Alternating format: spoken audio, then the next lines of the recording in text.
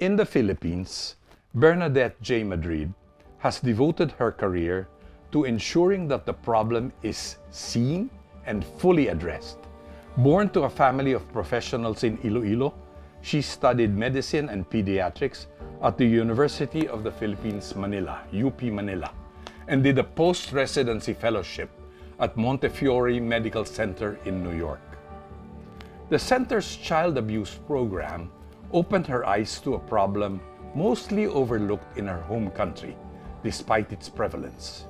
Upon her return home, she tried to establish a child abuse program in the Philippine General Hospital, PGH, in Manila, the country's premier public hospital, but the program was short-lived for lack of support.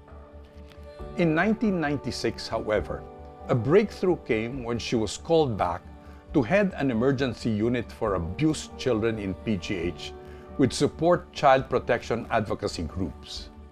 Madrid assumed as head of the PGH Child Protection Unit, PGH CPU, the first such facility in the country.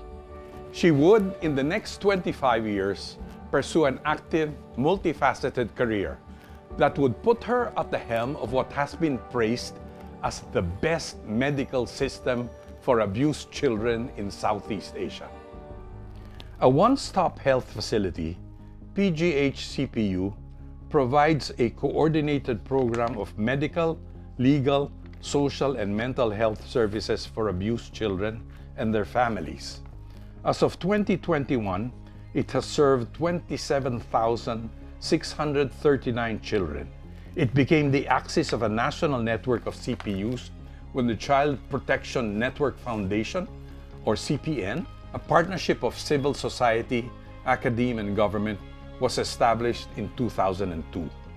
As CPN Executive Director, Madrid engaged with family courts, schools, hospitals, local government units, community organizations, and policymakers in advancing the cause of child protection.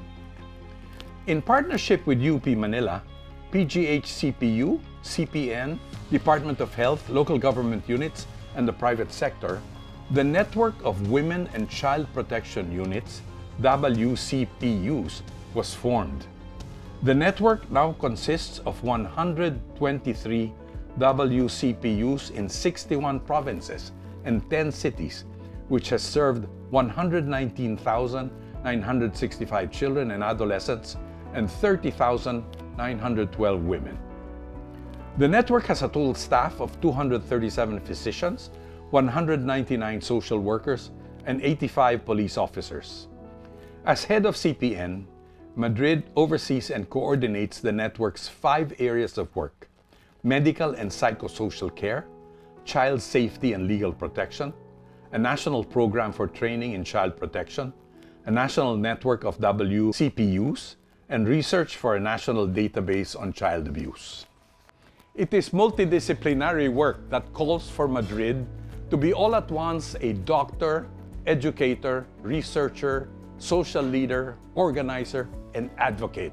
She has pursued it with humility and strength grounded in faith. She says, and I quote, I feel that I was prepared to do this work.